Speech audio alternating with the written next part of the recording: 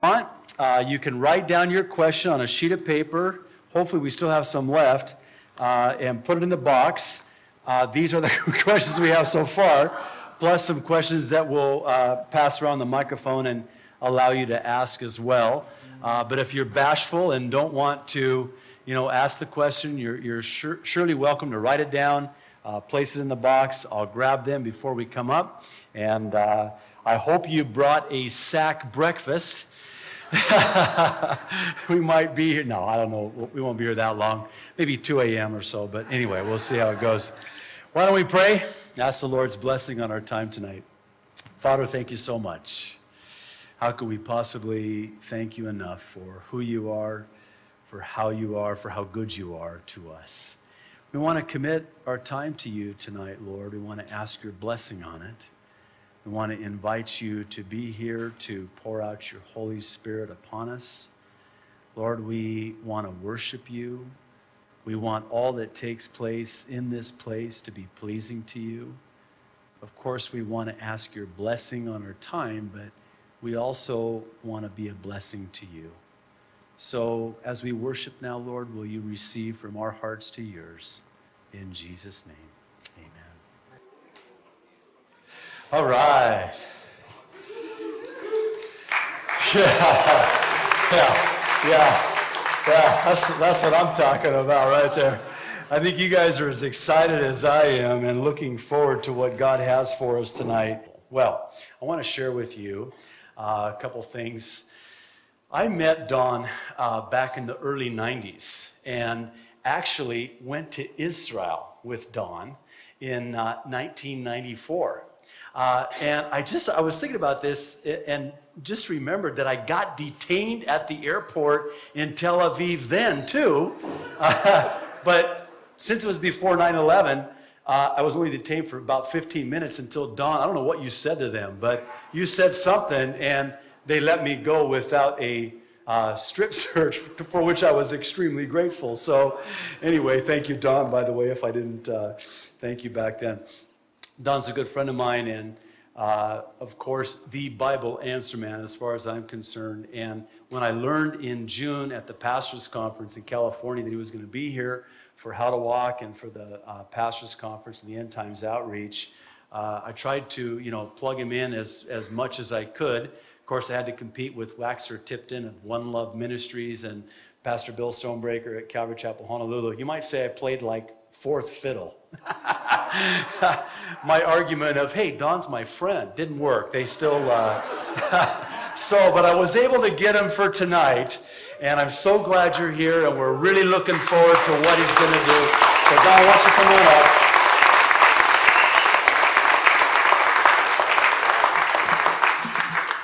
Now, I want to kind of, oh, thank you so much, Marianne. I want to uh, kind of give you the, the drill here. Um, a lot of questions. We're going to start off with the ones that are written first. Uh, I might, uh, you might have had questions that you have not written down that you would like to ask, and we can, you know, Lord willing, provide the opportunity for you to do that. We've got a microphone. Uh, perhaps we can get to that question if you did not write down a question. But I think what we want to do is go through these first, and then uh, your question may have already been asked uh, in one of these questions. So I'm going to let you be up here. I'm going to be down there, take a lower seat. so it's all yours. And uh, why don't we begin with a word of prayer? And we'll begin with our first question, if you would join with me. Father, thank you so much for uh, Don being here. And, and uh, Lord, thank you in advance for what you're going to do tonight. We're really looking forward to you by your Holy Spirit speaking in that still small voice. Lord, we know that there are many unanswered uh, and good questions in this place tonight. And we're just looking for that wisdom from above that's first pure and peaceable and gentle and easy to be entreated, full of mercy and good fruits, without hypocrisy or partiality. In Jesus' name, amen. All right. A lot of uh, questions are similar. So uh, please, if I don't ask your question, do not take it personally. Of course, I don't know who wrote what question. And by the way, none of these questions are mine. So, You know, no guessing like, ooh, I wonder if they wrote that, you know. So none of that, okay? Okay, Don, this is a good one. Oh, wait. Oh, wrong one. Wrong pile. I've got like two piles here. This is a good one. I know you get it on pastor's perspective all the time. Do you think women should be a pastor? First of all, you want to know what I said to the guys in Israel in '94? Yeah. I said he's not as tough as he looks. Yeah. That's how they lecture the country, so that look, uh, okay, hi, everybody. Usually I'm direction. Okay. Um, Should women be pastors? Yes. Um, Senior pastors know anything else, yeah, definitely. Um, Actually, um, Bible gives women a lot more, I think, I don't know what the proper adjective is, uh, I don't want to say leeway, but uh, opportunities and a lot they've been given historically. We get an echo there, or is it just me? Yeah. It's, uh, Okay, that is good. I thought I was losing my hearing. then. I just- Probably, yeah, but it has nothing to do with the fact that there's an echo going. Anyway, um, you know, unfortunately, historically, what we've seen in the church is um, women not be not given the privilege and the, the rights that they, they do deserve to be able to preach the gospel and to do what God's called them to do. However, what always happens is the pendulum seems to uh, swing from one extreme to the other. Um, the main path Sorry that. The main passage that uh, uh, deals with this, 1 Timothy 2, 9 14, basically where the Apostle Paul says, I don't allow a woman to teach or have authority over a man, uh, is used and probably sets the stage for just the only limitations, as I read the Bible, that God gives for a woman.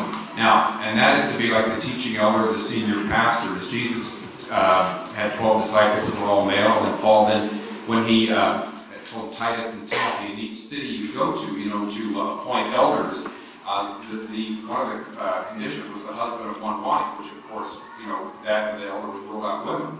However, on the other hand, uh, we learn in the book of Acts that when Apollos needed to be instructed more um, carefully in the scripture, it was Priscilla and Aquila who pulled him aside, and Priscilla was actually mentioned first uh, before Aquila. She was the one who took the lead there.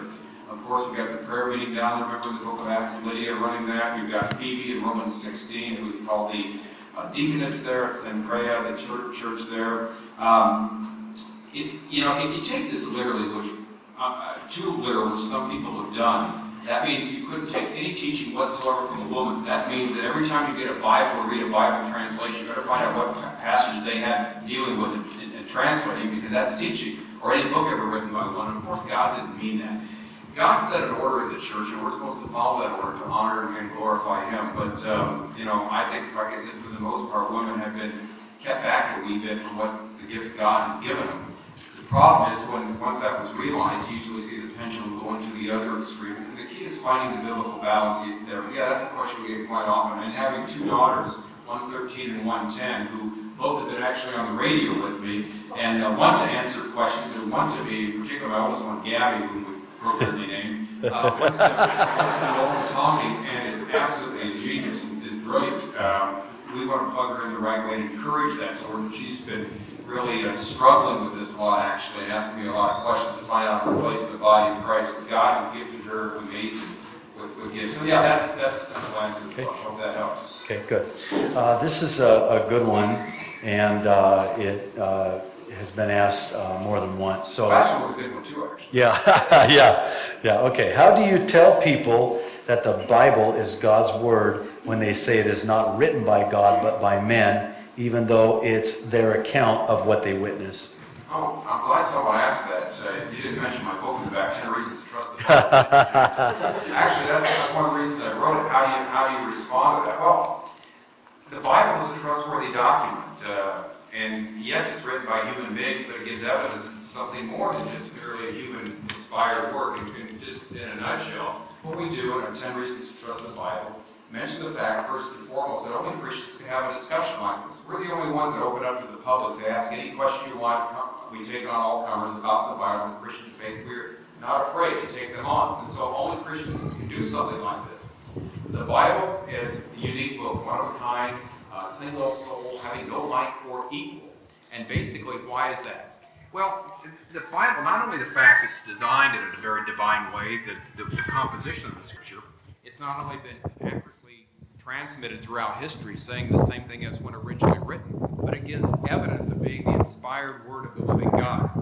And the main way we look at that is basically predictive prophecy, where the Lord predicts the future ahead of time. He tells us things that are going to come to pass for a number of reasons. First of all, we know that there's a God exists. Second, that we know there's a God who knows the future, but more important than that, there is a God who controls the future too.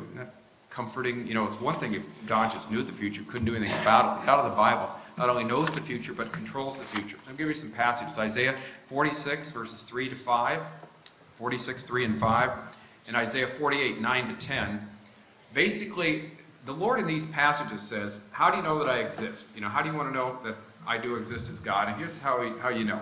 He declares the end from the beginning or things that haven't happened yet ahead of time. So when we know uh, when they happen, number we know a couple things. Number one, that he exists, that he's in control of history, because no one can control can know what's going to happen the next day. The weatherman didn't even get it right. But the God of the Bible knows what's going to occur, and He's told us specifically what will occur. And over and over and over again, we see God's word being fulfilled, divinely worked out, prophetically. And so, yes, the Bible was written by men, but it claims to be the Word of God. But more than that, it gives evidence of being God's Word. Jesus gave three lines of evidence to prove he was whom he claimed to be miracles, fulfilled prophecy, and coming back from the dead three days after his death.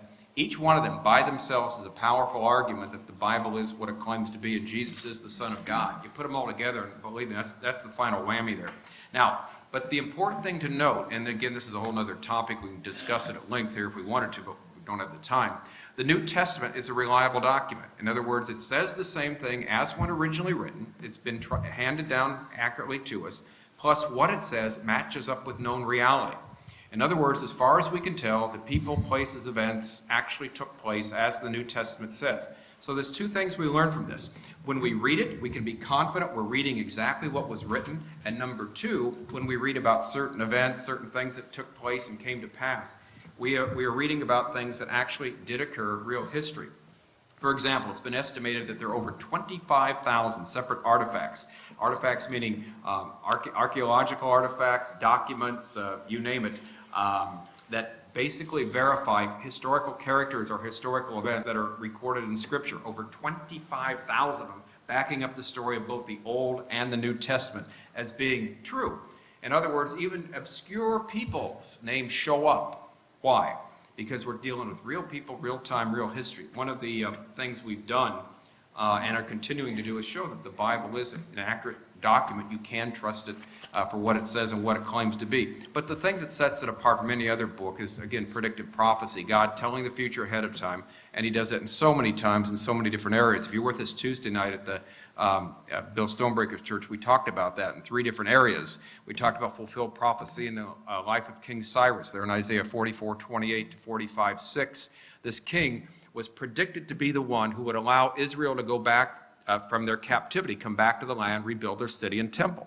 What's amazing about that, this prediction was made some 100 years before this person was even born, but he was named by name to release the people from a captivity they wouldn't even be in for another hundred years. And yet it all literally came to pass just as the Bible said.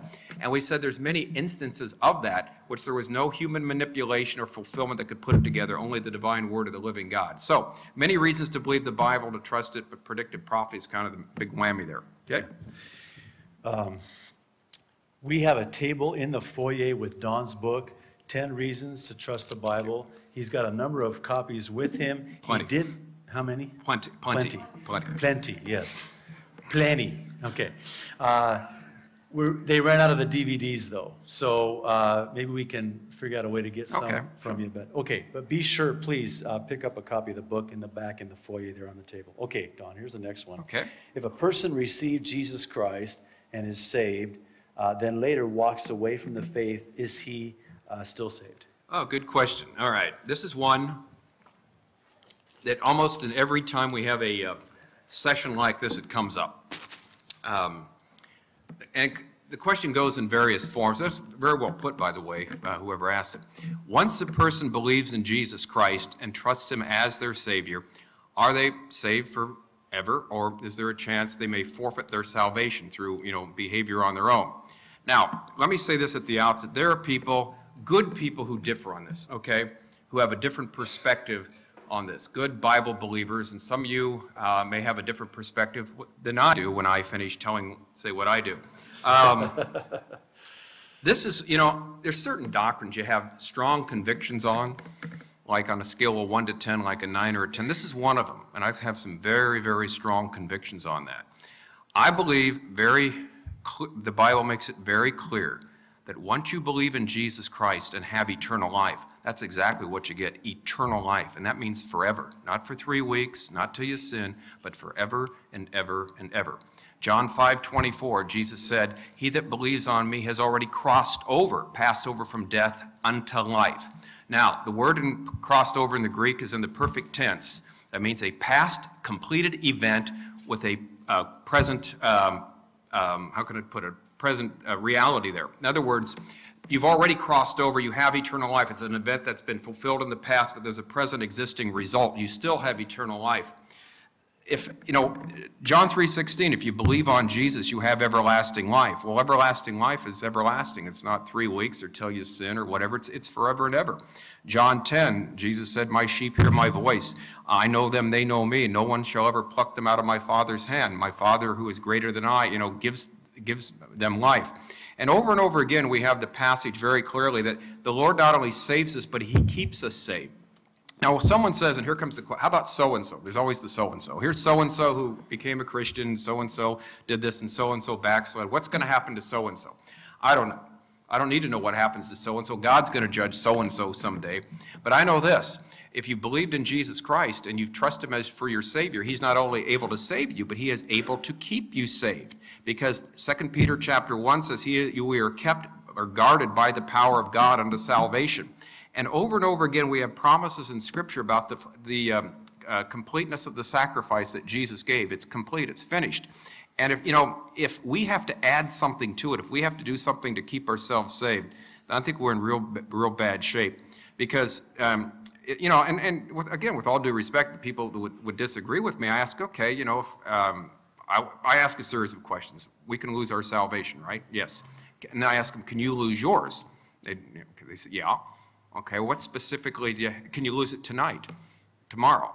Well, I don't know. Well, what specifically, I want to know what specifically you have to do to lose it so I don't do it. You know what I'm saying? In other words, I want to know what, I, what, what would cause me to fall from grace so I don't do it specifically. And I don't want to hear this walk with the Lord or, you know, or be a mature. What does that mean? And then if I lose it, can I get it back? And if I get it back, do I have to get baptized again?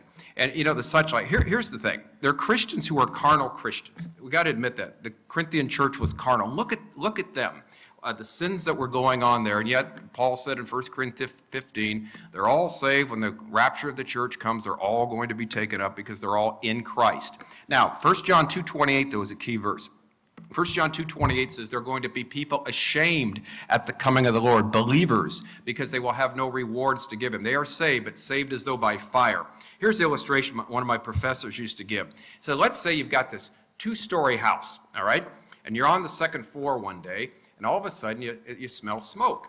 And you go, hmm, gee, smells like someone's barbecuing. And you look downstairs, and it's your, you know, it's the downstairs. Your nice new house that you just had built is burning up and the fire is coming up the stairs. Well, you, you know, you see that, you know, if you don't do something quick, you're about to die. So what do you do? You jump off the balcony, you, you hit the ground, you save your life, but as you look at your house, there it goes up in smoke.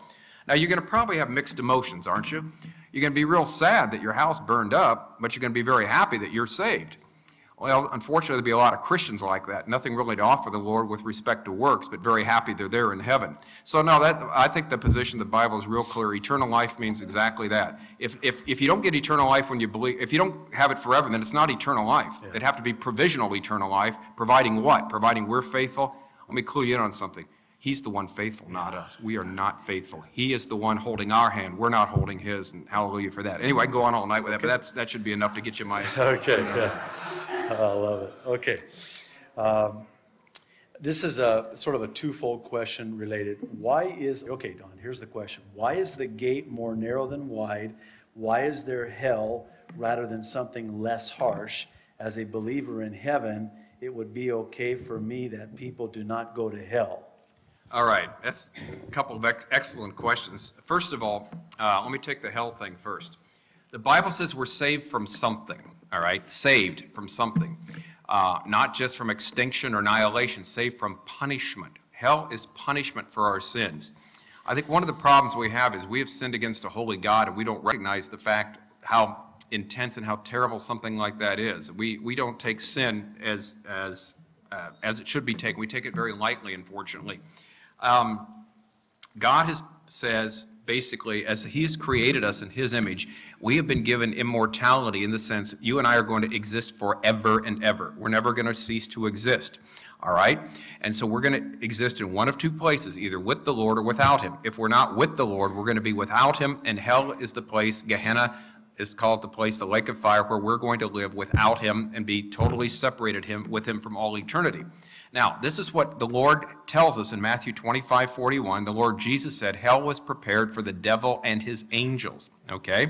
And so it wasn't prepared for humanity. Jesus Christ died, so no human being has to go there. But if a person willingly, knowingly rejects Jesus, there's no place else for them to go. And so, that, since they've been made for eternity, you know, they're made forever and ever, they have to go somewhere. And the place where they're going to be sent is called the lake of fire, Gehenna, or in the typical traditional English uh, lingo, we call it hell. And so, that, that is what the Bible teaches about it. Now, let's make this clear. This is what God says is going to be the end result of people who reject Him. It's not me, it's what He says. And so if there's a problem there, you got to ask Him, not me. I'm telling you what His Word says, and the Lord says He's a holy God who has died in the place of humanity, died for the sins of the world, so everyone can be in His presence. But if people refuse the free gift of eternal life, and since they're made for eternity, there's nowhere else for them to go. So they have to go to this other place. Now, why is the road narrow? Why is it so straight? Uh, I think one of the reasons why is because just of our own sin nature. Particularly here in America, it's, it's difficult because, see, we want to do something, don't we? We want to earn our way to salvation. We want to feel like we've done it. And the gospel says we can't do anything. Jesus Christ has done it all. All we can do is believe. I don't know about you, but that's kind of humbling, isn't it? That uh, all we can do is believe. I can't, I can't add anything to it. Nope. All you can do is believe. And I think that is a stumbling block for so many people. It's a narrow way, straight is the way, narrow is the gate, and few there be that find it. But that few, uh, you know, representative is, is millions upon millions of people. Unfortunately, most people have just blinded their own eyes to the gospel. 2 Corinthians 4 3 to 4 says, If our gospel is lost, it's hid. It's hid to those who are lost, whom the God of this age has blinded the eyes or blinded their mind, lest they should see the glorious light of the gospel of Christ, who is the. image. We have a satanic blindfold over us, and the Holy Spirit must remove that so we can see Jesus Christ. And that's what's going on. As the gospel is being preached, the blindfold's being removed, and people can see. Yet people can choose not to see. Let me give you an illustration. I was, uh, if you were here the other night, you've heard this, but uh, forgive me for giving it again. Friend of mine had this radio show in the Pacific Northwest, and what he would do is invite people on his program that came from various religious backgrounds. So this, this area was, was very famous for having a bunch of religious, uh, how can I put it in a nice way? Uh, how do you say kooks in a nice way? Well, anyway, they were different people, all right? They, they, they, they were odd, oddballs, but he'd find these guys, actually lived in trees and all that, and had this very strange, strange beliefs. He'd get them on there, let them talk, and let them give their pitch always, during the program, as he gave them a chance to talk about what they believe, he would always ask them this question, and he had many of them there. He said, If I could prove to you, to your satisfaction, not saying I could, but supposedly I could prove to your satisfaction that the Bible is God's word and Christ is the Son of God, would it make a difference? Again, not saying I could, but if I could, theoretically, would it make any difference? He said almost every one that he ever had on said the same thing. No, it wouldn't make any difference whatsoever. Even if you could prove it to me, it still wouldn't make a difference. Now, where's their problem? Is it one of the mind? no, it's one of the heart, one of the will. We read the 11th and 12th chapters of the Gospel of John. We see there was a man named Lazarus who was dead for four days.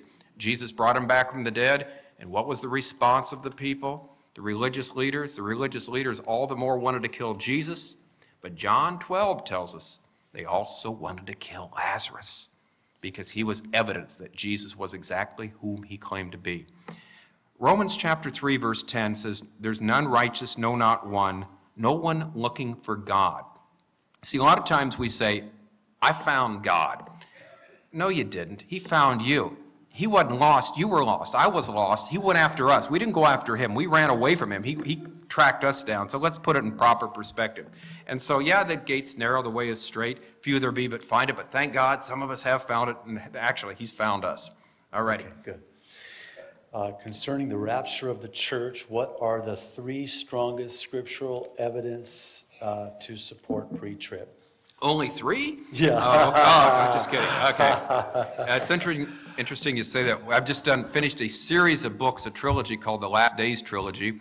Um, the Jews, Jerusalem, and the next temple, the rapture of the church, and the final Antichrist. And the um, uh, first is actually when we get back to the mainland, it should be there at the warehouse. The second one we, we just sent back yesterday to get printed, and the third one will be finished in about a week, and then they'll be done the next month or so. So that, the rapture of the church subject is the second one. That one we, I just sent off yesterday, so it's very fresh on my mind. Um, and again, this is a whole subject in and among itself. Just to explain it very uh, simply to you, the rapture of the church is that event that will take place sometime in the future when those that are living and alive and believed in Jesus Christ, according to 1 Thessalonians 4 13 to 18, will be caught up to meet the Lord in the air. As they are caught up, they will be translated in the sense of given from this body, as mortal body, to an immortal body, from, uh, from perishable to imperishable. Immediately before that, the dead in Christ will be raised and given the same similar glorified body. So the body of Christ will be complete. We will meet the Lord in the air. Now, the, the fact that the rapture of the church is going to happen is very, very clear. It's taught 1 Thessalonians 4 13 to 18. John 14, 1 to 3, and 1 Corinthians 15, 51 to 58. So three passages make it real clear this event's going to take place. The question, when is it going to occur? Now, when in respect to a final seven-year period called the 70th week of Daniel, Daniel 9, 24 to 27, talks about one last seven-year period that's going to take place before the second coming of Christ to the earth. And so when, with respect to that final seven-year period before Christ comes back, will the translation or the rapture of the church take place? And Calvary Chapel, we believe it's going to happen before all that happens, this final seven-year period called the pre, pre-tribulation view, pre before this final seven-year period takes place. And there's a number of reasons why. Um, he said just three. The first one, what maybe the idea we talked about it today on the radio program, the imminency, the any moment expectation. The New Testament writers had an any moment expectation of the coming of the Lord. In other words, we're told to watch and be ready.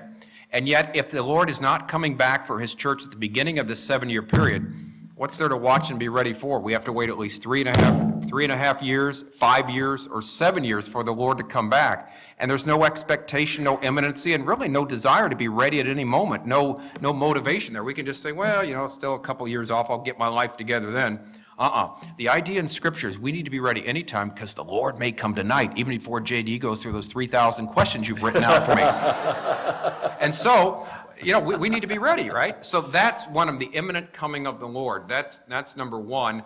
Uh, a second reason why it seems the, the church won't be there um, is when you look at the nature of this final seven years, 70th week of Daniel. You read Daniel chapter 9, and what you find is there is a 490 year period that the Lord has determined upon his people, Israel, and 483 of these 490 years have come about. The last seven year period will be God directing again with the nation Israel. Now, from day one in the history of the world, God has worked through only one redeemed people at a time. In the Old Testament period, it was the nation Israel. When they rejected Jesus, it's the New Testament church made up of Jews and Gentiles. The final seven year period, the spotlight will again be on Israel. And so the church, Jews and Gentiles, are not necessary to be there because of one redeemed people he works with at a time, and that is, of course, the uh, nation Israel, which is emphasized there in the book of Revelation. So that's another argument. Um, oh boy, there's so many of them. The, the idea, and you look Revelation 6 through 19, the church isn't there on the earth. It seems to be there in heaven. There's uh, instances of that, uh, or um, you know, evidence of that. The church is in heaven with the Lord while the events are going on down the earth, the events of the 70 week of Daniel, the great tribulation period. Um, on and on and on. I think I had something like 15 reasons why the, uh, the church won't be here to experience the 70th week of Daniel, the great tribulation period. And, um, you know, there's people, good people don't, don't hold that view, and that's fine. I don't, we don't have a big problem with that. Uh, they, they object for a variety of reasons. We try and respond to those. But also, we're told in 2 Thessalonians 2, one last reason, something is holding back or restraining this final Antichrist, this final man of sin from coming to the world. And what's restraining him, the only power that seemingly can do it, is a supernatural power, God the Holy Spirit working through the New Testament church, restraining evil. When we go, uh, the Holy Spirit will still be working, but he'll have kind of a clean slate because we won't be here, and so evil will abound and abound and abound, although there will be a great revival at that time. So I think those may be three of the main arguments the imminent or any moment coming of Christ, the fact that there's only uh, usually, God's only worked with one redeemed people, either Israel in the Old Testament, the New Testament church now to reach the lost, or the fact that restraining force can only seem to be God the Holy Spirit uh, restraining evil right now through the persons of us, the New Testament church. Now, just think about it. As bad as this crummy world is right now, can you imagine what it would be without the Christian influence, without our morality? We don't even want to think about that, do we? But that's what's going to happen, and that's why we're going to be literally out of sight. All right, JD. Yeah. Uh, The word church is mentioned 19 times in chapters 1 through 3.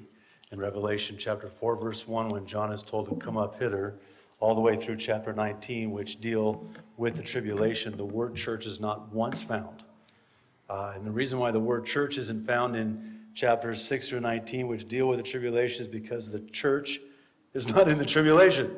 That's why the word church is in it. And besides, it's the time of Jacob's trouble, not the church's trouble. We're already saved.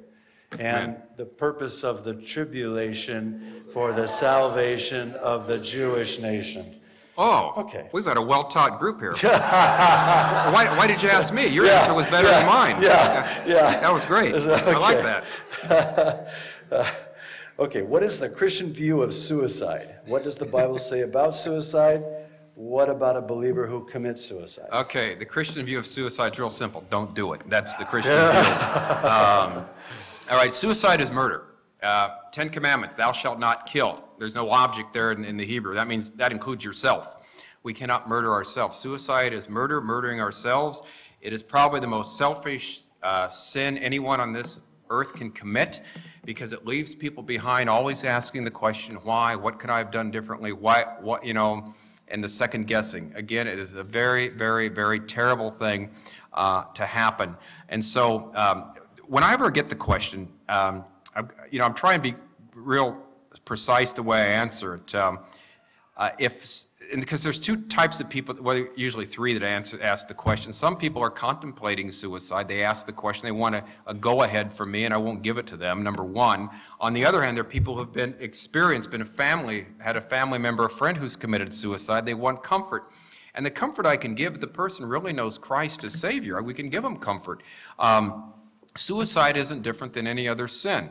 And someone will say, wait a minute, you can't repent from suicide. That's true, but there's a lot of sins you can't repent from. For example, let's say, you know, uh, the wife cooks this lousy dinner for the husband. I mean, really bad. And so she asks him, is it good? Oh, yes, it is. And he's lying. You know, is it good? He's lying. Finally, you know, uh, he's laying down in bed at night, and the finally, you know, before I go to bed, one last time, honey, was it good? It was wonderful. He closes his eyes and drops dead. Well, he dropped dead with a lie on his lips, right? I mean, he didn't repent from that. so that can't be confessed. And so there's a lot of things that can't be confessed. And so, um, but suicide, you know, the, the, Bible does speak about it actually. There's a couple instances in Scripture. Uh, Amos chapter 2, verse, first couple verses, first verse actually, where it talks about the king of, um, I'm sorry, that was cremation, sorry about that. We got the suicide there with Saul, I was, because I was uniting that Saul not only uh, sort of committed suicide, as it were, had fell on a sword or was told, you know, had someone run him through, depends who you believe, the Amalekite or, or the testimony in 1 Samuel 29.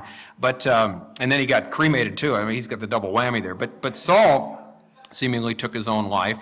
Um, and again, whenever this happens in Scripture, it's always looked as something negative because only God has the right to do something like that, to take a life in that sense. We don't take our own lives. It's, it's a terrible thing to do. And, and let me say this no matter how difficult life seems to be with anybody, that is not the answer because what you're going to do is leave a trail of difficulty behind that you uh, wish you had never, never done. But then again, it's, it's one thing you can't go back on. We had uh, suicide in our own family, someone really close.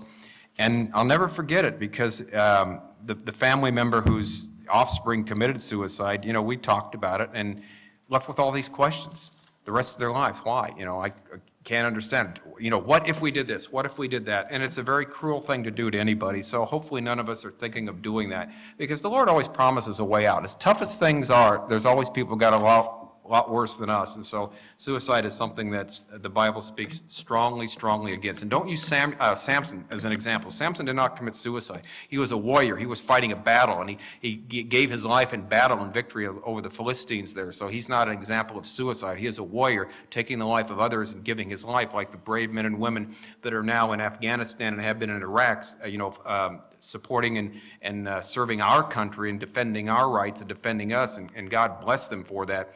But uh, that was what Samson. Samson was a warrior, and we need certainly need more like him. Okay, JD. Good.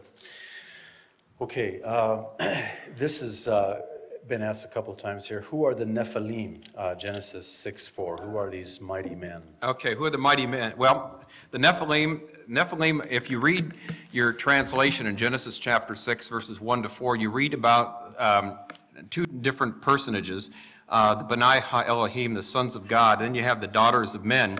They got together, and uh, there were people born in that day, men of, now, men of uh, name, men of renown, translations say, and it talks about the Nephilim were also in the world at that time and, and, and afterwards. Now, who are, who are the Nephilim is the question. Uh, Nephilim is actually a transliteration of the Hebrew. The Hebrew word is Nephilim, you know, and so uh, the translators, instead of trying to tell you what it meant, just transliterated it, put the word, it made an English word out of it, and said, okay, you figure it out. We don't have any idea. um, some translations say giants. The uh, Septuagint, the Greek translation of the Hebrew Old Testament, used gigantes to translate that giants. The Nephilim seemingly were a type of people on the earth before the flood, and actually afterwards too. We run into them in Numbers 13, verse about 30 and following. The giants that were there in the land, when remember the, the, the spies got there and they said, they came back, uh, you know, the, tw- the 10, uh, as General Boykin said, the 10 sissies. And then you got the two, Joshua and Caleb, that said, uh, you know, the 10 sissies said, you know, we're grasshoppers compared to these big dudes. And uh, they're giants, or they're like the Nephilim. Nephilim seems to be speaking of a, a type of person that is kind of maybe large in stature and someone who's kind of got, you know, an appearance about him uh, that's very uh, intimidating, as it were. So it's not necessarily, there's no physical relationship of the ones before the flood to the ones after, but just the type of person. One tra- um, commentary I read is sort of like the term hobgoblins, you know, something, a scary type of person or a scary type of personage that were there before the flood and there afterwards.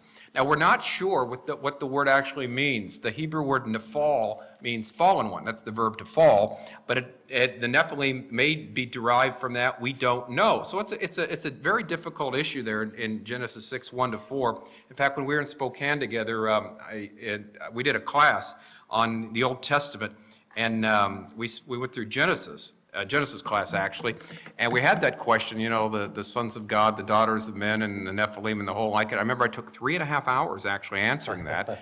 and then at the end of three and a half hours, giving the five points of view, I was ready to move on, and someone raises their hand and goes, Well, what do you believe? Oh. You remember my answer? I, said, that, I ain't yeah. going to tell you. You know, I don't you, may, you figure it out. I give you. I have to spend three and a half hours giving you the different points of view. You know, you tell me what you think is right. So anyway, but that was. Uh, it's an interesting question there. It's probably the most difficult interpretive question there in Genesis because there's a number of things going on. But the Nephilim just seemed to be a type of personage that was there before the flood and after, just a, uh, an intimidating. T- and that's. I think that's the best way of dealing with it. Good, okay. Uh,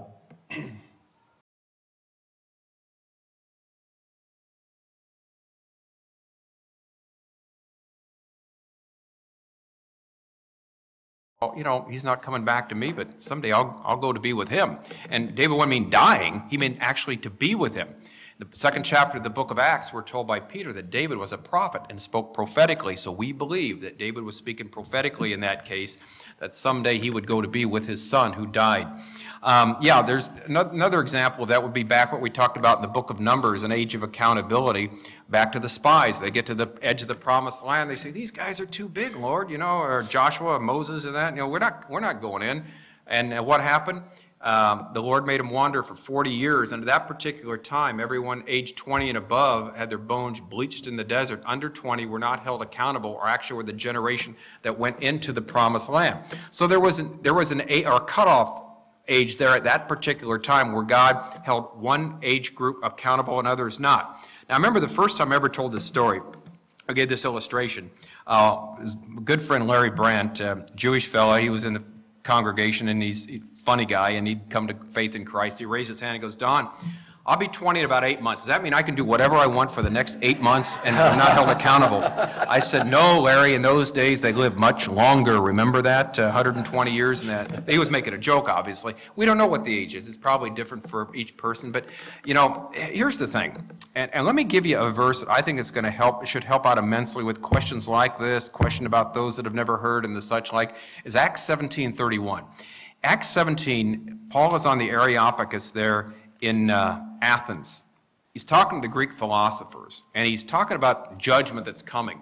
And he says this God has set a day, he's going to judge the world in righteousness, or righteously, or with fairness by the one man whom he has chosen, even, you know, the Lord Jesus, whom he brought back from the dead. And so, if God is going to righteously judge the world someday, that's all we really need to know, isn't it? Because God is righteous, God is fair. So, when all the evidence is in, uh, we will all sing with the angels, Holy, holy, holy is the Lord God Almighty. So he's going to be fair. How he's going to do it, how, how he's going to set the age of accountability and the such like, we're not all sure, but we know God's a fair God, a righteous God, a holy God, and so we fall back onto that.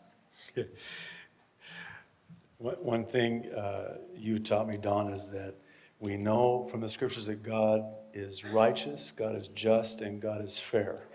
By the way, those classes, Yeah. they were at 5:30 in the morning. if you don't, No, uh, we have those too, that's right. Yeah. I had to get up in the snow at 4:45 to get, yeah.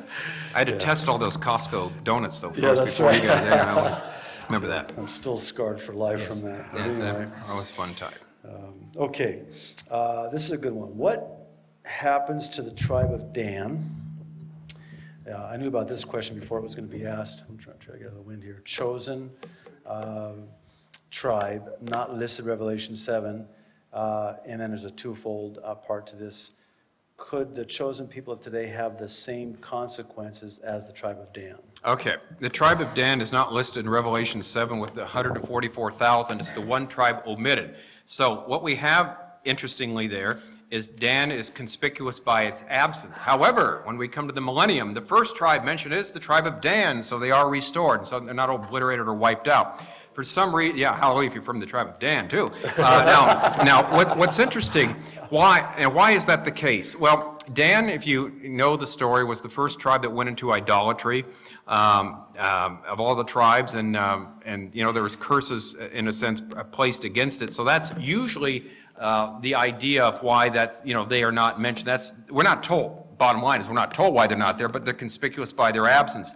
Dan, again, was first into idolatry, led the nation there. If you recall, Dan was given this plot of land, in, in, like in the, the Philistine country, but it, it kind of like the grass is greener up to the other side, so it actually moved, you know, away from where it's supposed to be and then came into idolatry. So Dan received the judgment, which interesting. The word Dan in Hebrew means judge. But Dan was judge, and they're not there in the with the 144,000 of the ones sealed. But eventually, they show up in the millennium as one of the 12 tribes. So the temporary judgment, but then the grace of Almighty God, they do come back there during the millennial period. But Dan is somehow conspicuous by the absence. Some people have argued or thought, this has been speculated too, that either the false prophet or the final antichrist comes from the tribe of Dan, and that's why Dan is judged that way. We do not know that. Uh, there are some interesting possibilities there, but uh, we'll just leave it at that. Where Scripture is silent, we try to remain silent. So that's the best we can do because that's all it tells us. Yeah, good. Okay, uh, this has been asked more than once. I probably should have packaged it with the rapture question, but who are the dead in Christ that rise first? Uh, If believers are present with the Lord when they die, then who are the dead in Christ who rise first? Okay, Yeah. yeah, contrary to popular belief, the dead in Christ are not the Presbyterians, all right? Uh, All right, um, now, okay, who are, who are the dead in Christ? The dead in Christ are those who have died in Jesus Christ from the day of Pentecost until the time of the rapture of the church. Anyone who's known Christ as Savior and died, they are in Christ. They are died waiting for the resurrection.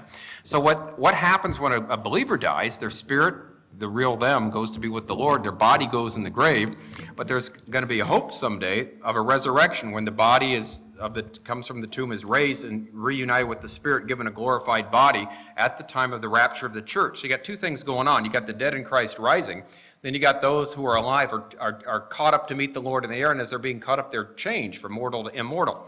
So the dead in Christ are those who have believed in Jesus Christ from the time of the Pentecost when the New Testament church began until the time of the rapture of the church. And so they are believers who have trusted Christ as their Savior. Now, Interestingly enough, first few centuries of the Christian era, they, they're around the catacombs of Rome. There are literally millions of tombs there where Christians were buried. And these tombs were called actually koimaterias, where we get the word cemeteries. Uh, koimiao in Greek means sleeping place. They're sleeping places because they believe the body's asleep, but the spirit's with the Lord, and someday the spirit and the body will be joined again. And that's why the cemeteries are sleeping places waiting to meet uh, the Lord in the air. And so, um, and what's interesting here too, the Christians buried their dead, and the unbelievers would, would cremate or burn their dead because the unbelievers didn't believe there was any life after death. Christians believed there was life after death, and so they would bury the dead to plant a seed to give a witness. Now, that not necessarily mean, uh, you know, it's nothing speaking against cremation, because the Bible doesn't say anything one way or the other against that, but Christians did that as a testimony. And so, one of the things we need to understand is that uh, Christians had a different view. They believed that when a Christian died, that body that was planted in the grave would one day be raised again by the Lord someday, given a new body, while their spirit was immediately with the Lord. Which I got to tell the story here. Okay, one of the. Um, one of the, um, um, we don't have them here, this whole long story. I did a series of DVDs as the, the Bible Explorer. You, you saw the one, 10 Reasons. There are actually four others, but that, that's another story why they're not here. But anyway, I did one on the afterlife and one on heaven and hell. And at the beginning, there is a poem that I, I'd read many years ago. I don't know if you ever heard this one, JD. The. This, this is great. There is a true story. Cemetery in Indiana. Old cemetery, there's a gravestone. And on the gravestone, someone actually had this written Pause, stranger, as you pass me by, for as you are now, so once was I. And as I am now, so you will be. So prepare for death and follow me. Interesting. Pause, strangers, you pass me by, for as you are now, so once was I. And as I am now, so you will be. So prepare for death and follow me. Very clever. Anyway, someone walked by and read that, looked at it, then scratched beneath that the following words To follow you, I'm not content until I know which way you went.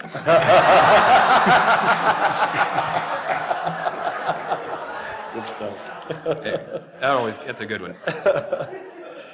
Um, there's multiple questions here. I'm going to try to, see if I can maybe gi- give you two of them here. Are there different levels of heaven? Is Catholicism a false religion Are Catholics saved? Okay. Is that, that's three different questions? Well, there's like eight of them here, so I'm Okay, trying to. yeah. Are there, are there different, no, there's not different levels of heaven, heaven, no, we're not gonna have like, you know, the, the slum area and that, and the the tenements and the, uh, no, heaven's all first class. Now, there's different rulership you and I will have in heaven. We will, we're told we're gonna judge angels, 1 Corinthians 6. Jesus talked about people having authority over, uh, one 10 cities, one five cities. Remember that when he gave the parables, based on our faithfulness? But now, heaven's all first class. There's no, there's no uh, dumpy place there in heaven. Thank the Lord for that, because we're in the presence of the Lord. Uh, No levels, and again, remember this too. There's no such thing as um, envy, pride, that kind of stuff, you know. Uh, We're looking someone else, covetousness, you know, so-and-so's got so many stars in heaven, I got so few, you know, that's not going to be there. Ain't going to be there, you know, and we can't imagine something like that, can we? Because we're people that think, you know, brother so-and-so's got this and I don't have that. Um, So no, there's, there's not going to be any, diff- not going to be different levels. Now, we had a Roman Catholicism Yeah, is, question. are- is Ca- uh, Catholicism a false religion? Are Catholics saved? Oh, boy. Uh, How long you said we were- had here Yeah, that's? Uh, All right. Um, Let me start back by uh, uh, saying, this is, this is a topic we, we could go very long on. There's, there's a bunch of different issues here. Um, Roman Catholicism is, is unique in the sense, and we're talking about Roman Catholicism. If we talk, are Catholics saved? I always say, yeah, the Catholic Church are saved, and people go, wait a minute, I was a Catholic. It's, no, no, no, I'm talking about the Catholic Church, not the Roman Catholic Church. Catholic just means universal. Uh, we are uni- we are Catholic Christians if we believe in the universal church, that is the true church. It's the Roman Catholic Church where the issue lies. Are they saved? Of course, there's individuals in the Roman Catholic Church who are saved, but the church itself is not operating, we believe, um, along the lines of what God had set down. And there's a number of problems we, with all due respect, have with it. We, we respect the fact that the Catholic Church, Roman, Roman Catholic Church, believes in the doctrine of the Trinity, this, they believe in the same God, the same Father, Son, and Holy Spirit. They believe, you know, in um, many of the same things we as Protestants believe. Where we draw the line with them is how a person gets into that relationship with the living God through faith in Christ. And then, the and then where the final authority comes from. Does it come from the Bible, or does it come from the Roman Catholic Church, which has authority over the Bible? In other words, where, where does the buck stop? Does it stop with a book, or does it stop with the magisterium of the Roman Catholic Church? And we would say it stops with the book. There's no, there's not the slightest hint in the book that we're supposed to, you know, yield to the authority of some institution. And even if there were, why yield to that institution? Why not, why not the, uh, the Eastern Orthodox or Greek Orthodox Church? You could actually make an argument they had started even before the Roman Church uh, historically. So, um, basically, what, what we do, you know, when I ever talk to someone who is Roman Catholic, I just ask them this What are you trusting in? How are you going to get to heaven? Is it your works or what Jesus Christ has done on the cross for you? And um, it's interesting. I have a lot of them that, you know, in spite of what the church teaches them, they uh, believe it's Jesus and, and Christ alone. And I said, you know, if you're trusting Him, that's, that's what God expects. The problem, of course, is that all of the things that go along with that. And, and, you know, to me, a lot of the issues that divide us are secondary issues, but it's the main two are, you know, where does final authority come from, and how does a person get right with the living God? Um, talk about will we see them in heaven? Are they saved? Someone once said that when you get to heaven, there'll be three things that are going to be shocking right away. The first thing is you're going to see people in heaven you didn't expect to see there. Oh, he made it. I didn't, you know. Yeah. Number one. Then the second shocking thing is you're not going to see people there you expected to see there. Hey, where's brother so and so? Brother so, you know, he's not there. And the third shocking thing is people will be shocked and surprised to see you there. So anyway, um, anyway, um, no, it's thank God he's going to do the judging and that he knows the hearts. Um, uh, but no, the system we believe is is not God's system today. We don't we don't give any gra- we grant any authority to the Roman Church or the Pope. We don't believe anything he says is ex cathedra, speaking from the throne of from the, the throne of the Lord or that. No, not at all. But um, um, again, that's a real interesting issue. We can go long and hard on uh, if we ever want to get into it. Okay, JT. Okay. Uh, There, there was a, a number of questions regarding the uh, sin of the blasphemy of the Holy Spirit. And I'm not going to present it to Don because it was uh, asked and answered beautifully at the uh, pastors' conference uh, this last week. And uh, we're going to acquire the CDs and uh, MP3s uh, and DVDs of all the conferences and make them available to you uh, free of charge. So, but you'll have to wait. So uh, hold on to that if that's your question. I know it was asked a couple of times. So let me ask you this, Don. Uh, My question is in regards to Luke 2:52, "And Jesus grew in wisdom and stature and in favor with God and men." My question is, how can Jesus grow in favor with God, becoming a friend of God? If Jesus is God, how can Jesus become? Is he not already a friend of God? Are they not both one? Luke 2:52. No, good, good question, and, and that's one also where he, you could, you could also cross-reference that with Hebrews chapter five, where it said he learned obedience too. I think, here's, here's what we're dealing with in Luke two fifty-two and Hebrews five and the such like. We're dealing with something that we've had no other example of this in history, where the living God becomes a human being. You've got one person, but two natures, one hundred percent human, one hundred percent divine in one body. As God, he cannot grow, he cannot learn, but as human, he can grow, he can, he can develop, he can learn, he can grow in favor of God and, and, and humans, and that's exactly what he did. And what it talks about favor of God is by his obedience. Again, Jesus emphasizes the fact he does always those things that please the Father. So you have to read this in light of the fact that God becomes a human being in the person of Jesus Christ. He obeys God, and he gains favor as being, you know, as trusting him in, as the, you know, as God the Son, but also as the perfect human being. Now, what's interesting, 1 John 2 6 tells us we're to pattern our life or walk as Jesus walked. And if Jesus did everything totally and you know with respect with his divine nature, that wouldn't be real encouraging to you or me, would it? Because we're not we're not deity, we're not divine. But the fact is he is fully human and as a full human being, he trusted God the Father. He grew in stature, he grew in wisdom and human wisdom, he did, and yet he grew in favor because he obeyed God the Father. Now, if you I don't know if you ever thought of it this way. I remember I heard a pastor say this once, I thought it was really brilliant.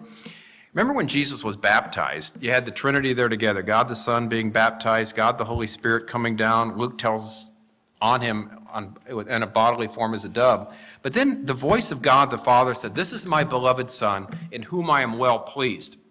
Notice God the Father was pleased with Jesus right then. Pleased with what? not pleased with his miraculous works, he hadn't performed any miracles, not pleased with his teaching, hadn't taught anything, pleased with 30 years of, in obscurity of living in total faith to God the Father, pleased with the everyday, day in, day out task that he was given until it was time to reveal himself to the world. So God the Father was pleased with us just being consistent without doing anything spectacular. And that, you know, that got me when I heard that. I thought that's really profound because the pleasing of the Father with Jesus was his obedience, and he was obedient until the death, even the uh, uh, Philippians 2 tells us, the death of the cross. And so uh, as, as a full human, 100% human, he could grow. And he could. And grow in knowledge, he could grow in, in stature, and he could also grow in favor with God. And that's exactly what he did. The favor increased as he was completely obedient to God the Father in his life. Good. This is a combination of uh, two questions from, one of which is my son, and uh, one of them is my son's friend. Okay? So uh, the first part is when God made Adam and Eve, how old were they? Uh, And then uh, the second part is how long were they in the Garden of Eden? That's, those are two really good, excellent questions. When God made them, how old were they? Well, the day he made them, they were one day old. I mean, that's, that's, that's how old they were, right? I mean, now, the question probably is how old did they look? That's, a- okay, that- I think that's usually what's asked. God created Adam and Eve as full-grown adults. Now, what's a full-grown adult? I remember one time on the radio a number of years ago, a uh, young lady called up and said, uh, when we get to heaven, will we be, you know, um, you know, will we be kids like I am now, or will we be full-grown adults? I said, we'll be, you know, when you get to heaven, you'll be a full-grown adult. She goes, wow, when I get to heaven, I'll look like I'm 16. You know, and I thought, you know, um, I, I guess it depends on one's point of view what a full-grown adult is. When you're eight or nine, I guess that's a full-grown adult. But anyway, they probably looked, you know, fully grown, 25, 30 years of age, something like that. We don't know. We're not told, bottom line. Um, how long did they last in the Garden of Eden before they sinned? Well, let's put it this way. Not very long. Pro- It's probably highly likely this is possibly the first or second day. It didn't take long for them to, to sin. Now, you're going to think that's not real good, um, and we're not really happy with that. In fact, Gayle Erwin gave the illustration the other day. He said there's going to be two long lines in heaven. One line is there to, you know, to worship Jesus. The other line is to beat the snot out of Adam, you know, uh, because uh, of, um, of what he's done, because he's caused all this problem. People be lining up to do it. Now, but here's the thing. Let's face it. If it was you or me, we would have done the same thing sooner or later. Don't think, oh, if I were there in the garden, yes, you would have. Yes, we all would have. We all would have. You know, Adam was there. He he represented us, but we would have. We would have. We would have done it too. But the fact is, he's it's already done. It's been been there, and probably not not real long. Probably weren't long in the garden. Uh, they didn't have any children uh, since they were created perfect, and they were told to be fruitful and multiply. Uh, we assume that Eve would have conceived right away, and so given that fact, it's probably probably didn't take long for them to fall, as it wouldn't take you and wouldn't take me very long either. Okay, great questions. I love them from the younger ones. They're always the tougher ones, the, the better ones. You know, I, I want to give those of you who did not have a chance to or did not know about writing down a question, if you would like to ask a question, uh, don't be bashful. I'm going to bring the mic. Uh, Would you mind coming up so we can get you uh, on the video and blackmail you? We, we're on we're on tape here now, video That's too. right. So behave. you know, Yeah, just- no, no. Turn on He's, he's going to behave. Smile at the camera. I'm just kidding. Um, My question is in reference to uh, the- the question that came out and somebody believing and then falling away from the faith. Are they, are they saved? And I know that- that in the book of James, it's talking about somebody, it's talking about the demons believing, and even the demons believe and shudder. So I would, is, is it a legitimate statement to say that that person probably wasn't in the faith in the first place if they did fall away? Oh, that's, that's a fair question. It's a good, and, and the bottom line is we don't know. And, and, and that's the key. We really don't know that that person really did or did not believe. The Bible talks about false prophets. Remember that among us? And there's also 1 John 2, 2.19, I believe it is, where it says they went out of us because they weren't with us. If they were of us, they would have remained with us. One of the keys is that um, false prophets and false teachers will come into the church. They will pretend to be Christians, say the right words, say the right thing, but then eventually leave because they're wolves in sheep's clothing.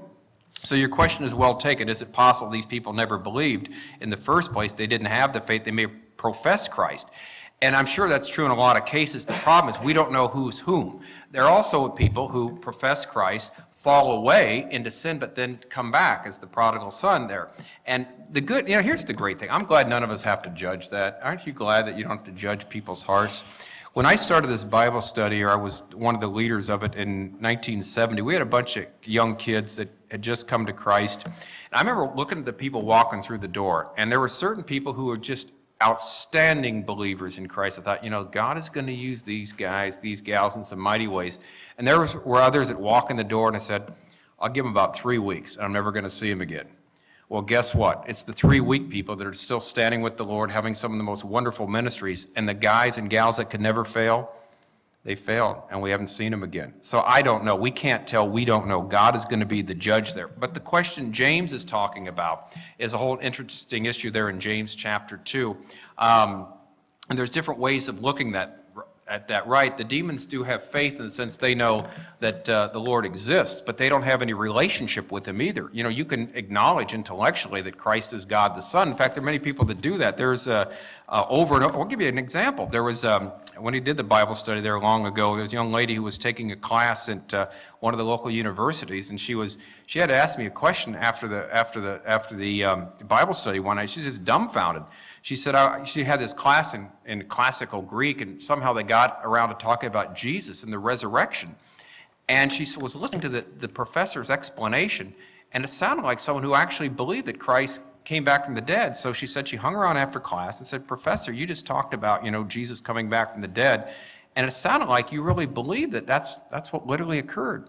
And he said, Yeah, I don't think there's any doubt about it. I think the evidence is so, you know, so overwhelming that, of course, you know, he, he, he did come back from the dead. And she says, Well, pardon me for saying so, but I've been in your class all semester and you never impressed me as a Christian, you know. And he said, Well, well I'm not. And he, she said, Wait a minute, you just told me that you believe that Christ came back from the dead. He said, Yeah, but you're not a Christian. No. Do you realize the consequences you will suffer? She bluntly asked him that. Yes. And she said, Why not? Why aren't you a Christian? And he said, I don't want my life changed. I'm very happy with the sinful life I'm living right now. All right. Well, okay. So um, he knew the facts. He knew it was true. You know, all the demons believe they know what's true. A lot of people out there know what's true, but uh, they don't do anything about it. I think James is talking about that type of person, a true faith in Christ. There will be something there, and that's I think that's what he's talking about. Okay. You know, there are so many good questions here, Don. I'm just wondering, can I give you a couple? Sure, you can give me anything you want. Yeah. rapid fire? I got a lot of water here? left, so uh, you don't. Yeah, yeah. Keep the water coming back there. Uh, I, what, what, what do you think about a couple of rapid fire ones? I mean, just, Okay. you know, like. Okay. Yes. Yes. No. John three sixteen. Okay. See, that's good. All right. Let's close in prayer. Thank Okay, you there for we go. coming, and we have a potluck. Okay. Oh. Oh, you're going to ask me the questions? Yeah, I- just I, real- just just want to give you the quick, answers. Oh. That way we skip the question, we get to the answers. I know, you know, Don, he knows the answer before we even ask the question, so. Okay, what's the questions here? We haven't seen any of these. What Uh, are they? what, what is your opinion of the rap, partial rapture theory? It's wrong. Okay. Okay. Next, uh, Uh, We deal with that, actually what I do in the book, I go through all the seven major theories and give the strengths and weaknesses, and the pre-trib, I say that's the one that has, you know, I think got the answers to, and I I deal with the objections. Partial rapture, pre-trib, mid-trib, post-trib, you know, and pre-wrath and that, and then no ra, and then no rapture theory too, so. okay. Uh, Tarshish Yeah. in the Bible, uh, Yes. Ezekiel 38. Yes. Uh, Where is that? We Uh, don't know. We don't know, okay. No, it's, it, it could mean a far out place, an outer place, somewhere, it Right. could be an outer island or something like that. It could be a geographical place, or it could be a Hebrew word meaning somewhere out there. The Not young sure. lions, you know, has, some have suggested it could be the We don't know. young nations. Yeah, I Okay. know, I know. Are UFOs demonic Well, beings? are they? Well, now, that's, that's not, well, that's not something you can answer just yes or no. Okay, okay. Uh, Some, because, okay, are there such thing as UFOs? Yes, there are unidentified flying objects. Now, are these unidentified flying objects demonic? Some possibly, some are just misidentified, right? Okay, and, you know, there's, there's all sorts of theories, uh, uh, natural phenomena might explain it away, you know, uh, or, you know, certain uh, things the military are testing, and, and of course, it's, you know, it's high, it's possible, you know, that some are. Um, then again, here, here's the problem I, I have with the, um, the, that sort of thing, and actually I got it from one of my um, um, professors in uh, college who wasn't a Christian when I went to a non-Christian school. He said, I don't have a problem necessarily with believing the idea that, you know, we could have some type of alien visitors. My only question is, how come they always crash land in some manure field in Mississippi? And they talk to some guy, you know, that um, can barely get a complete sentence out, and there's, they're the one who's been kidnapped, and he, he's the one who they've communicated with. It seems a little suspect there, that, you know, they, they, they can master, you know, um, the physics and, you know, and interstellar travel to such a place, but they have to crash land in some haystack or something, and it just, something just doesn't seem right there. That's, that's, anyway, that, I know, I like that explanation. I thought that was as good as any I've ever heard, so.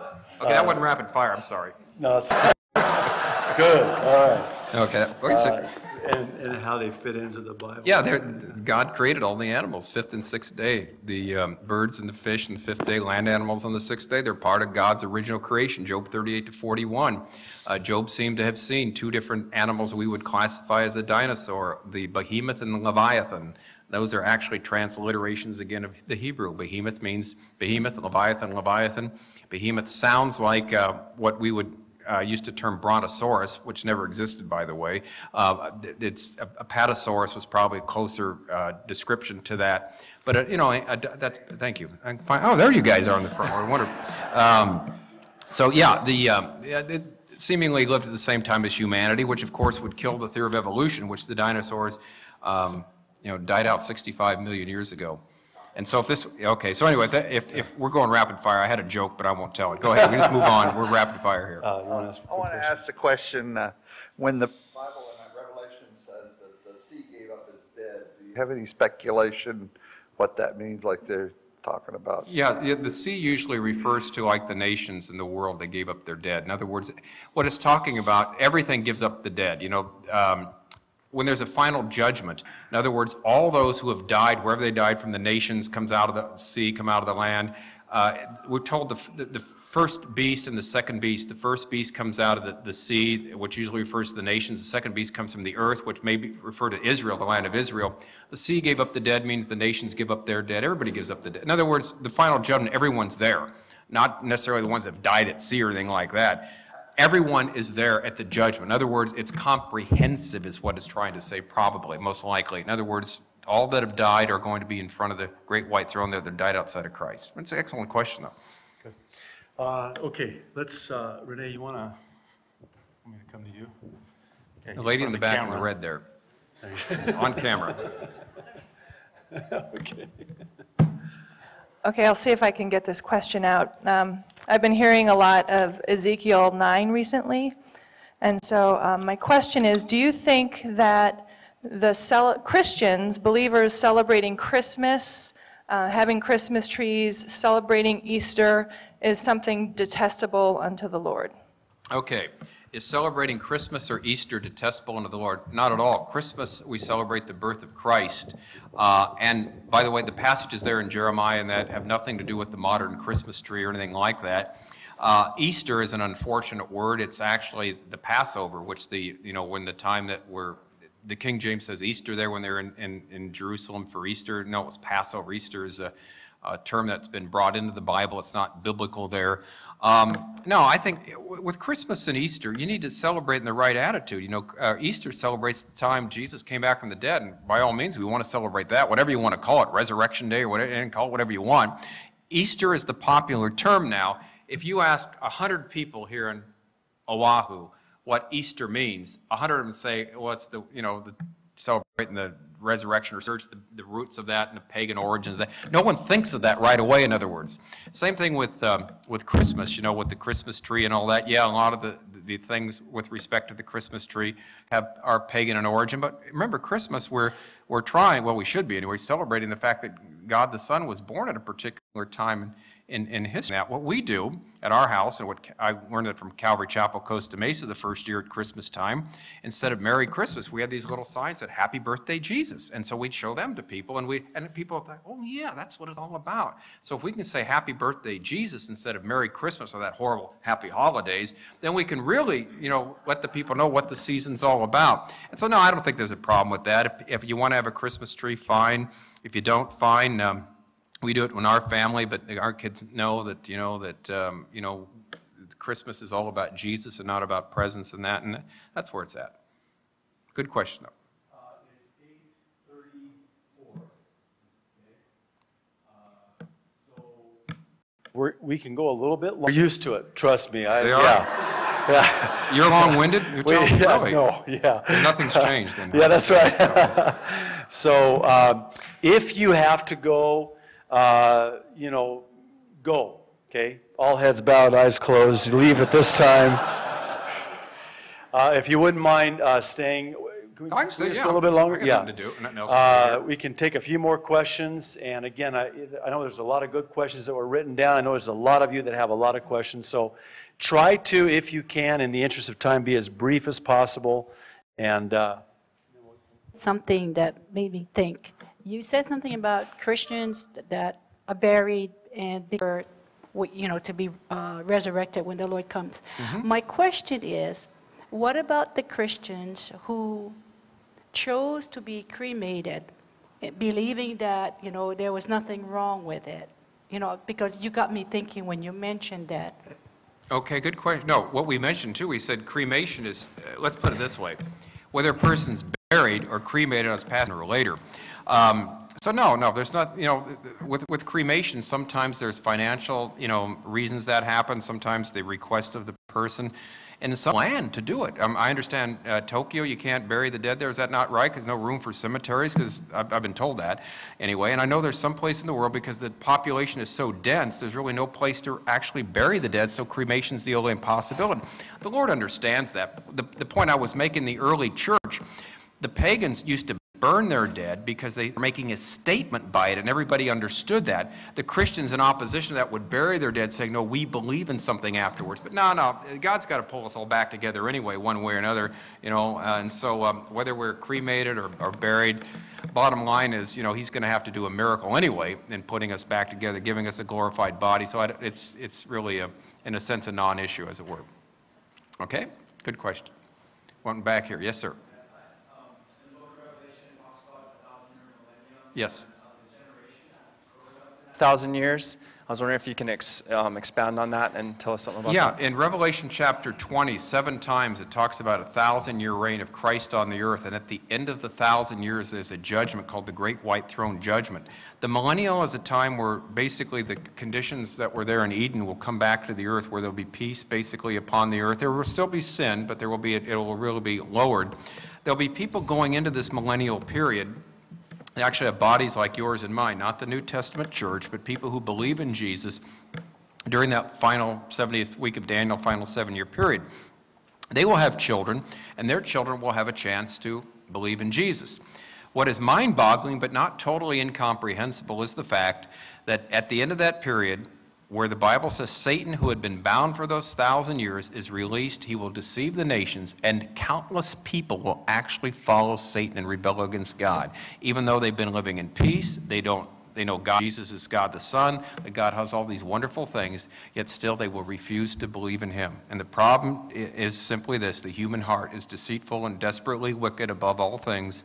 Jeremiah 17 9 says, Who can know it? And that's what problem we will see at that particular time.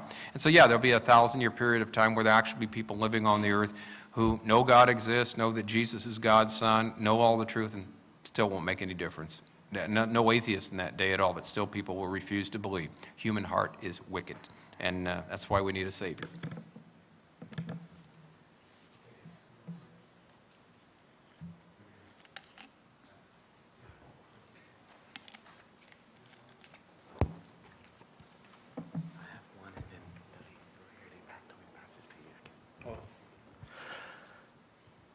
Can a person with Alzheimer's be led to Christ? That's, that's a good question. Um, as long as a person is, is breathing, you know, and alive, I would try and get the gospel to them. The problem is, sometimes people get to the place where they've, they've gone past the level of comprehending, you know, the gospel and that. Um, let me, let me say this. I don't know if this may not relate the same thing, but I know people in comas can certainly hear what's being said. We have a good friend, when last two years ago, we lived for a while, my wife and daughters in Iowa, and um, tremendous testimony this young lady have. Um, Deb Hayworth, she um, got encephalitis in a trip down to Mexico, and the doctors basically said, uh, get your family together because she ain't going to live. And there's a lot of prayer going up for her. A lot of, um, you know, and the doctor said even if she lives, you know, she won't be able to function, but there's not a- even a chance, very small chance she's going to live. Well, Deb not only survived, but is as capable as you and I, if not more capable to this day. God miraculously not only healed her, answered, answered the prayers, but brought her back. You know, it took her a while to get back to normal, but she got back. She said while she was in the coma there, uh, she could hear everything that's going on. And people, you know, they're planning her burial and all that. She's listened to that, and uh, she, you know, and then and she's talking to the Lord, and the Lord showed her to know that He still had something for her. Now, she was in a coma and still alive. Alzheimer's, unfortunately, sometimes people get to the place where they can no longer understand. Now, what's interesting, you know, many of us have had relatives with that. My mother had that. She could comprehend things, and she would talk about events that happened 50, 60 years ago, like it were yesterday, but she couldn't remember five minutes ago.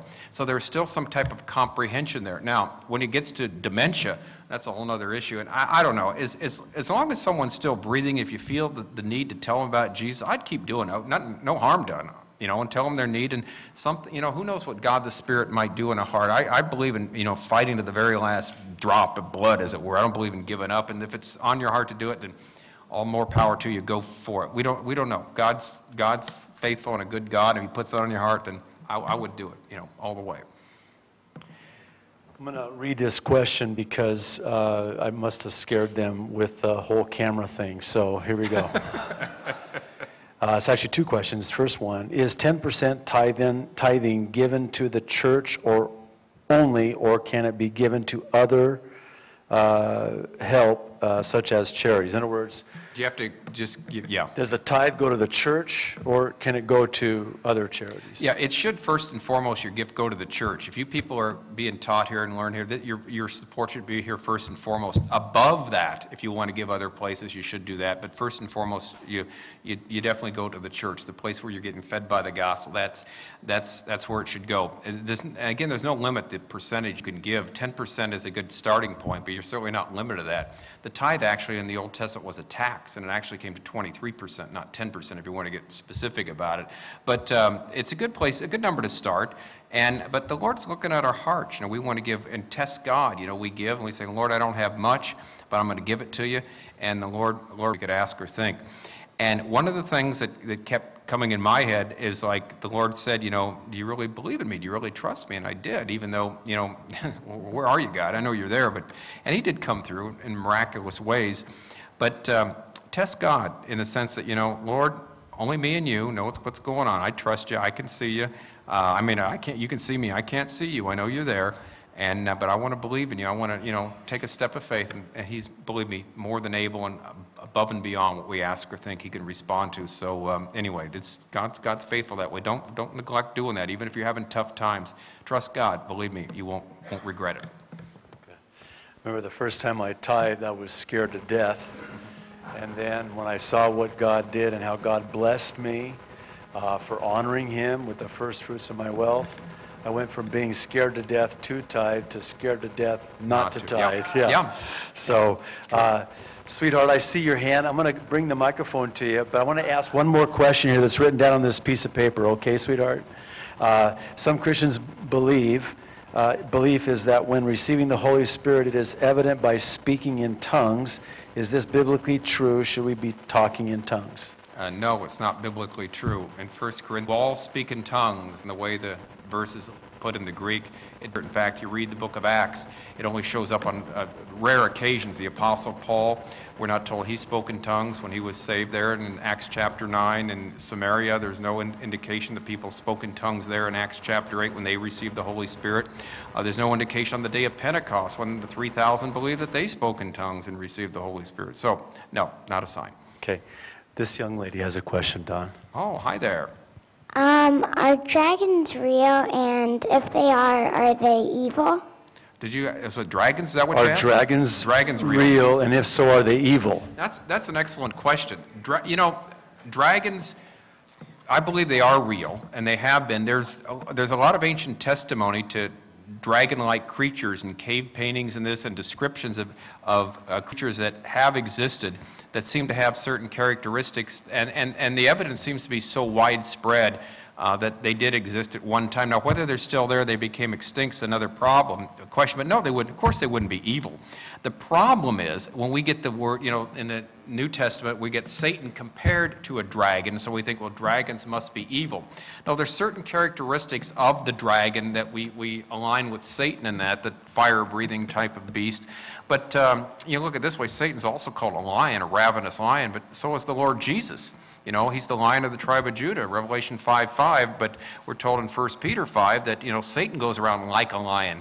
He is not, Satan isn't a dragon. He is like a dragon, has certain characteristics. But no, no, if we ran into a dragon, well, I guess we'd have to be careful, wouldn't we? We're not, uh, um, but uh, no, they're not evil per se. Any creation of God, any animal created by God initially was certainly not not evil. And even the ones that, are, that can be harmful to us are not necessarily evil. They all have their place here on the earth. You know, they, they belong here just like we do, although we have dominion over them and we need to respect them. But then again, we're the only ones been created in the image of God and, and we need to uh, appreciate that and treat others likewise. But good, excellent question, as the young ones always ask these great ones. Okay, we have one back here. One back, one way in the back. All right. Can tell it's going to be another good Hello? one. Okay. Um, I had a friend ask me a question, and I wasn't really fully able to answer it, but he asked um, why, in regards to the imminency of Christ's return, um, why did Paul think it would happen in his day, and maybe not the full canon of Scripture, or I wasn't sure.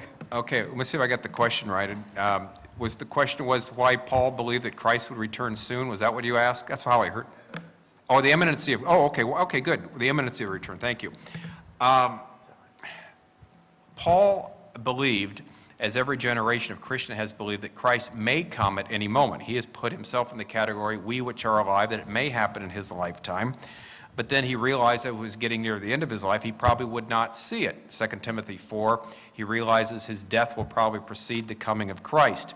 I think the reason the Lord has done that is to give each generation the expectation of the potential of Christ coming to live in light of that. So at any moment we can be ready to meet him. Because let's face it, uh, Christ may not come in our lifetime, but Christ may come for us as it were, any moment, right? I mean, when, uh, who of us has a guarantee we're going to live into the end of this day? None of us. And so I think it's the imminency not only of the coming of the Christ, but the fact that, you know, uh, our life may end any time is why that was put in there. And also it's to live in the expectancy, to, you know, to live righteously, to live, you know, in the moment. I think that's the reason we see that in the New Testament.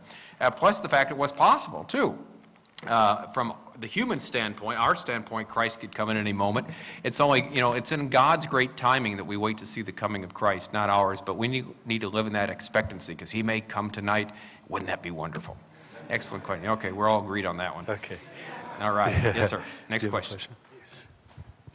My question is um, regarding to what you mentioned earlier. Uh, The seven-year tribulation. Yes. um, That reference is found in Daniel chapter 9. Uh, My question is, the last week, uh, the one week, which is part of the 70th week, uh, how do you explain if that one week is part of the 70th week? Because you mentioned the 483 years plus that seven years. How do you explain that seven week uh, to be in the future if it's part of the 70th week? Okay. Okay, good question. Um, in the book of Daniel, um, the, the nation Israel, like we said, God said there's 490 years of their history, and when the 490 years are over, then everlasting righteousness will come in. We're told that, and and the 77s, the sevens are, are, are years, 490 years. We're told after 69 of the sevens, or 483 years, after that time, there's an interval period. The Messiah will be killed, he will be cut off, and then the city and the temple will be destroyed by the coming prince. Then, after that interval is over, there'll be one final week or one final seven-year period, Daniel 9:27, where there's a, a covenant confirmed or made by this coming man of sin with the nation Israel. And so we're in the interval period because what happened was sometime during the time of Christ, the 70, the, the 69 sevens, the 483 years stopped because after, the Bible is very clear in Daniel, it's after the, the 69 sevens that the Messiah is killed, uh, the city and the temple are destroyed, and then it picks up, and then sometime there is a covenant made. Well, what happened was um, Jesus died, you know, uh, the city and the temple were destroyed within about a generation, but there's no um, covenant made or confirmed since that time. And the seven year, final seven year period actually culminates in the second coming of Christ. So we are living in an interval period right now between the 69th and 70th week of Daniel. There's the assumption there of that interval there, as the way it's explained to us in Daniel 9, 24 to 27, which is another one of those topics that would be great to take about 45 minutes to explain in detail. But I only had 45 seconds. Okay, JD. and I'm sure he's doing a great job telling you that all anyway. So. Yeah, I have a question about the rapture. Yes, sir. You know, there are many churches. The Catholic Church is the largest church in the world, I, I believe, but there are Mormons, Jehovah Witnesses, and a lot of people here have friends that are, you know, with other religions, or, I mean, churches, Mhm. than Calvary Chapel, like United Church of Christ, and a lot of church are getting to be very liberal and make changes. Yes. And I don't know, um, the- since the Catholics are the largest, uh, that means more of them are going. Well, that's, the- that, that's a good question. Maybe largest chrono, uh, numerically, but you know, that doesn't necessarily mean that, you know, um, they have the truth. There are, you know, I don't know what the latest figure is, the number of people who claim to be Roman Catholics. There are 300 million Eastern Orthodox Christians in the world also, too. I don't know what the latest Protestant figures are, but you're right. Um, there's, you know, there's a lot of people out there that claim to believe in Jesus, all right? And they have distinctive beliefs about Jesus. Roman Catholicism, Eastern Orthodox, and Protestantism all believe in the, the, the Apostles' Creed. They believe Jesus uh, is God the Son, second person of the Trinity. They believe he died for the sins of the world, was buried, and rose from the dead. That, they do have that, that core belief. Beyond that, though, there are, there are differences, and I want to play those down. However, other groups deny that. The Mormon Church you mentioned, they do not believe in Jesus Christ being God the Son, second person of the Trinity. They, do, they believe that actually Mormon males can become gods, and the, and the God of this world was once a human being and who, who worked himself up to be God, and, and Mormon males can become God and, you know, and, and people their own planets and their own uh, part of the solar system. So they have a different view of God than the, than the historic Christian view, and they're, uh, that's why we call them a non-Christian cult, because they deviate from the historic Christian position. Now, here's the thing, and, and, and here's where we really got to rely on God's goodness here. If someone really truly believes in Jesus and they have that relationship with him, and they may be untaught in a lot of different areas. That's not going to stop them from getting into the kingdom of God. Now, they're pro- they need to be taught better. They need, but if they know Jesus, they know Jesus. Now, the ones that know Jesus, God is the only one with the scorecard there. You and I don't have it. We don't know, and I don't know. I don't even pretend to know if someone's in or someone's out. I know this though: if they reject the historic Jesus, the real Jesus, they're out. However, even if they have the name Christian Church and you know they walk in the doors, they have to have that personal faith in Christ. And- again, who know who of us knows their heart?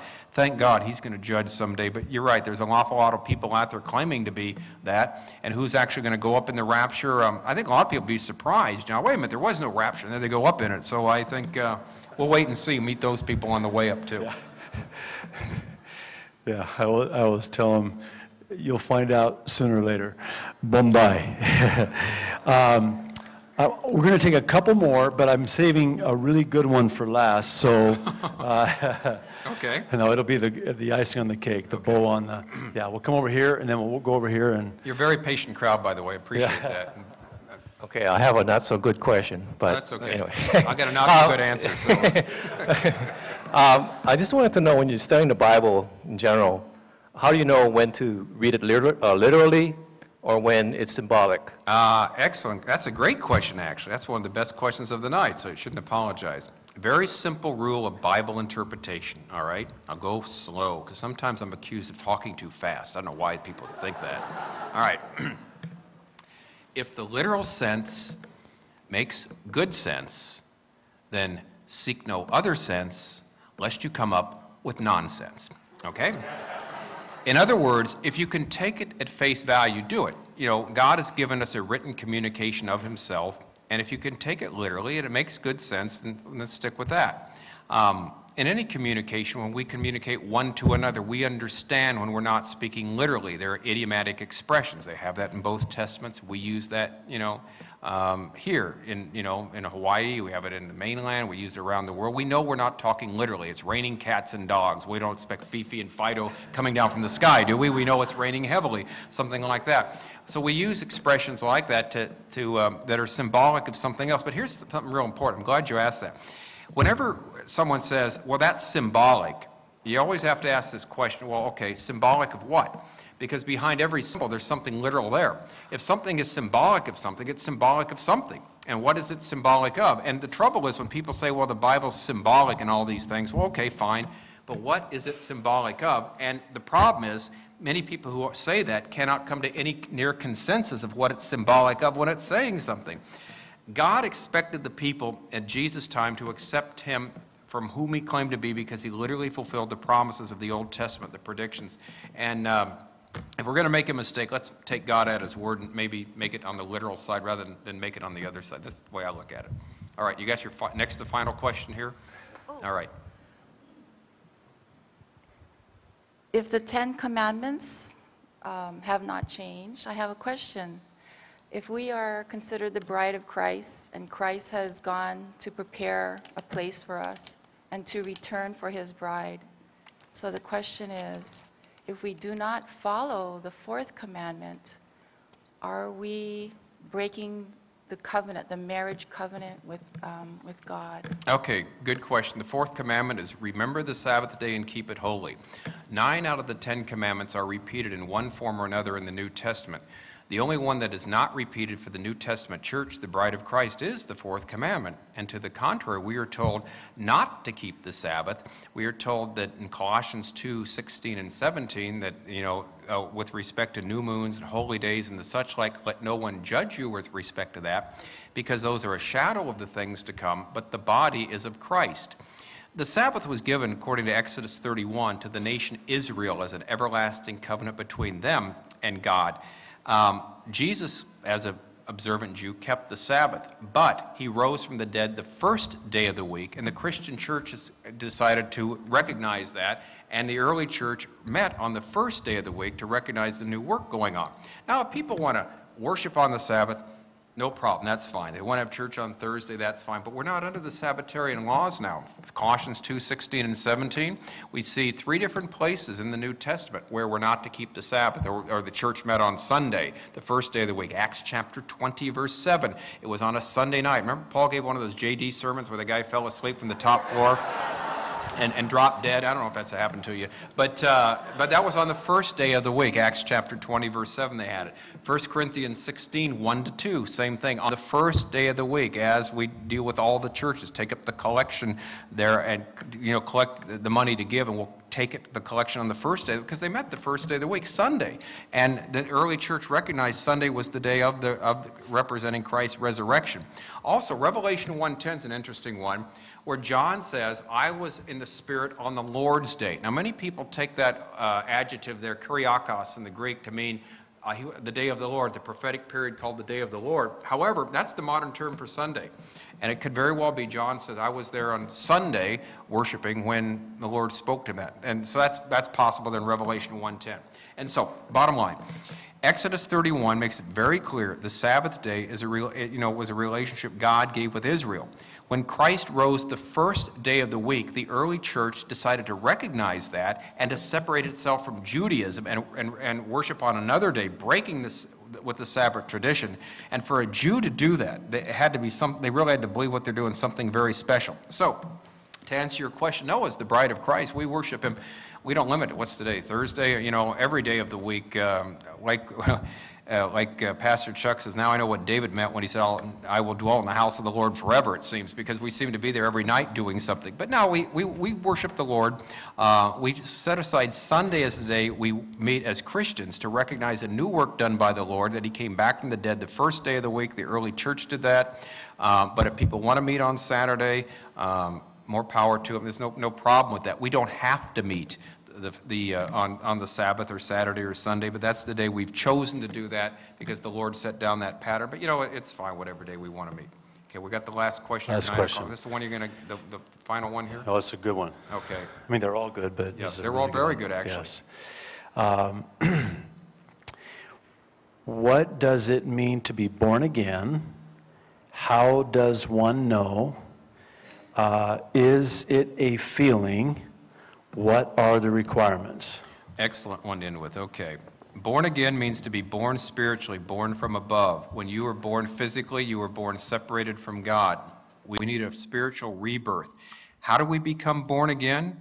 Very simple. Say to the Lord Jesus, you know, if you, I understand that you died for me, uh, in the best way I know how. I trust you as Savior and Lord. I, I, tr- I trust you that you died in my place so I can know you. Is there a feeling associated with it? Sometimes yes, sometimes no, not necessarily. Maybe some people have very dramatic conversions, others just believe that they're changed. Uh, the good news is tonight, the message is for there, every one of us. If you're here tonight and you don't know Jesus Christ, you can walk out of this room born again, knowing you're going to heaven, knowing you have your sins forgiven, knowing you can have eternal life, having that spiritual rebirth, because without it, you can't see the kingdom of God. We're born separated from God physically, but we're dead spiritually or separated. If we die in that state, we will be separated eternally from God. But if we trust Christ as Savior, we will live forever with Him by being born again or born from above. That is the message we preach. That's what you hear from JD all the time.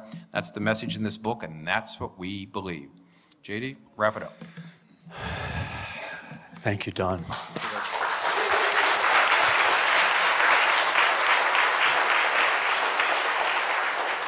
Let's, uh, let's close in a word of prayer. Loving Heavenly Father, we're just in awe of you. the English language is inadequate to express to you our love for you, our thanks to you. Lord, we have all eternity to worship you for what you've done for us. Lord, for anyone here tonight who does not have a personal saving relationship with you, I pray that this would be the day of their salvation. Lord, I pray that you will not let them leave here the same way they came here, that you would embolden them to ask for prayer, that we might share with them and pray for them to receive you as their Lord and Savior, so like John, they can know that they have eternal life. Lord, thank you. We love you so much. Lord, bless the food we're going to partake of tonight. Bless it to our bodies. Bless the conversation that will continue. Bless the questions that will continue. And Lord, we cannot thank you enough for your goodness, for your grace, for dying for us, for paying in full for us, for all of our sins, so we could have all of eternity to be with you. In Jesus' name, amen.